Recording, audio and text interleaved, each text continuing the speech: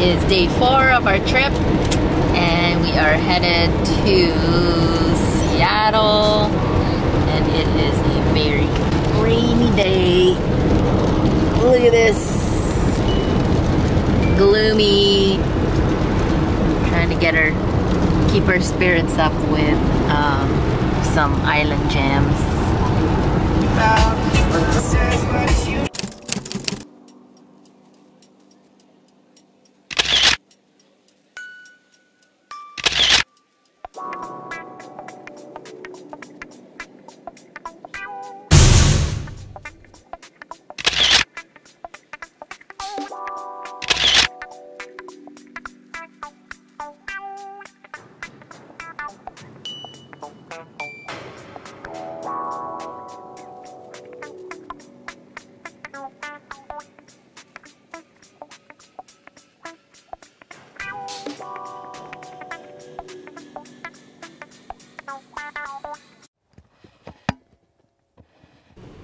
Hello, we made it to Seattle and we are at the Best Western.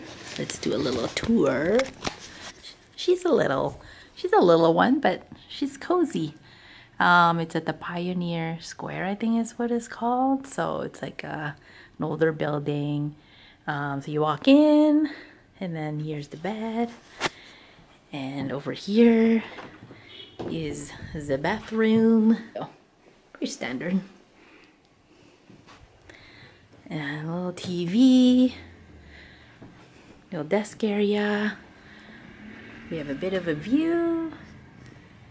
Hello, Seattle. Oh, here it is, called Pioneer Square. That cool little artwork there. And then over here, and oh wow, look at this. So cute. You can go out. No balcony. Nice. Get some fresh air. Very cool. And that's it. So earlier today we went to uh, Lawless Forge to make ourselves some rings. I saw an episode on um, Love is Blind when uh, Micah and Paul went and created their rings. So I thought it was a cool surprise to, for uh, Brian. And uh, yeah, so this is what we made. This is Brian's right there.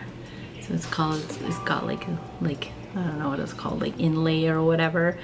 But uh, we were there for like two, uh, yeah, two and a half hours.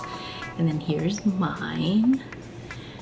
So look how cool that is. It was supposed to fit around my middle finger, but I don't know, the measurement was all off. So um, it's gonna be on my ring finger instead. So I can put it either on my right hand or on my left hand. There it is. So is really cool um, way to celebrate and remember our four-year wedding anniversary. Um, the other thing that happened is when we were like, um, it's a bit of a process. There's one part where we would sand like the outside so that it's not as, so that it's like smoother and then um, when you're doing that it gets really really hot and you're supposed to dip it into the cold water. But uh, I picked mine up and it was like super super hot so I ended up burning myself. And have a blister right here. It hurt so much. But anyway something memorable